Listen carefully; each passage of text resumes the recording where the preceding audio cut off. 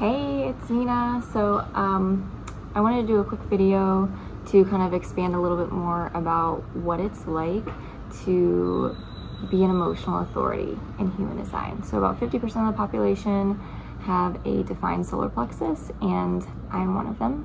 And it took me some time to get familiar with my wave and really understand, you know, when to listen or how to listen to my solar plexus by riding through my emotional waves. And so um, this video is for actually defined and undefined solar plexus because um, you know, for those who don't understand the emotional authority, I think this video may be a little bit helpful for you to understand the process of what emotional people go through and for emotional authorities who are maybe new on their deconditioning journey or just found human design and want to understand a little bit more about the solar plexus and kind of uh, expand your awareness on what's really going on at a deeper level when we are going through our emotional waves. So this is something I've explained to other people before and um, this is how I personally experience um, my emotional waves. So if you think about it, um, an emotional wave, say you have a decision that you need to make about something.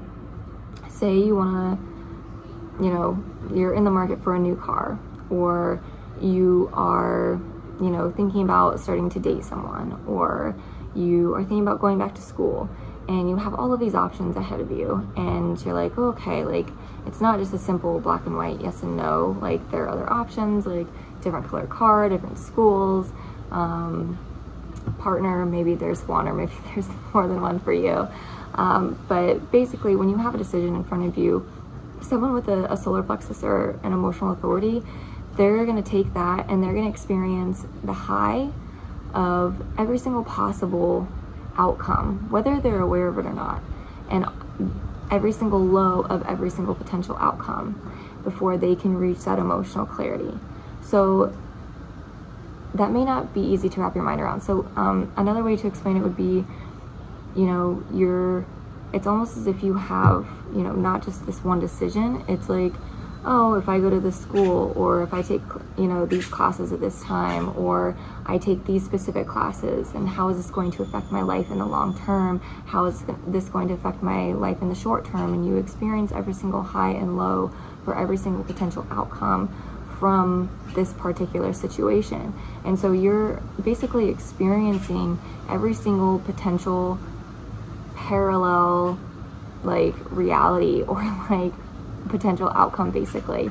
And for someone who's not a defined solar plexus, that can seem very foreign and exhausting and just a lot because emotional people are just constantly, constantly processing um, emotions because we're trying to find clarity on different things and that's just our process, but it's completely normal to us as defined solar plexus. Um, for someone who's not defined, they may look at us and be like, wow, I don't understand that, or that seems really heavy, or that seems really overwhelming, or that's just like a really long, deep process and they don't really understand. And, and that's okay, they just don't necessarily have that awareness, or maybe they're not fully conscious that they're rejecting defined solar plexus, maybe because they have conditioning or trauma related to, you know, someone who is unaware with a defined solar plexus. So this is this video is just more of like trying to explain the process so undefined solar plexus can can understand and see why it takes defined solar plexus so long to make decisions sometimes and why like this process should be honored because there is so much depth and wisdom that comes from experiencing that entire range and potential um, outcome for like whatever decision you're making. And so when someone goes through their entire emotional wave and then someone comes to them and says, hey, you know, you made this decision, why did you make this? They have complete access to every single, you know, emotion, high and low that they experience, even though it didn't play out in the real world, it played out within them, within their solar plexus. And so they have the emotional depth and feelings and like emotional experience basically um, of why they chose a certain thing or why they they made a certain decision or why they didn't make a certain decision. And so they have that depth in order to offer to someone else who may be undefined or defined but they have that experience to be able to offer. And to me there's such depth and such wisdom to to that experience of riding these waves high and low. And i don't think defined solar plexuses really understand like how deep the process goes and what we're really doing when we are going through our waves because it's literally like swimming in this ocean just completely full of fish and whatever and like it's just and just being in the water like it's just like we're constantly surrounded by this these emotions like the water particles are our emotions like that is how deep and how many emotions that we are processing and it can be really really intense. And so when you don't have that awareness of really what's going on at kind of like a deeper level it can seem overwhelming. You may want to reject or you may not want to experience those emotions. But when you learn to become kind of neutral and more of an observer of the wave that's when things start to get a little bit easier. So um, I have another video where I kind of go a little bit more in depth into my um, deconditioning process and learning how to great more gracefully ride these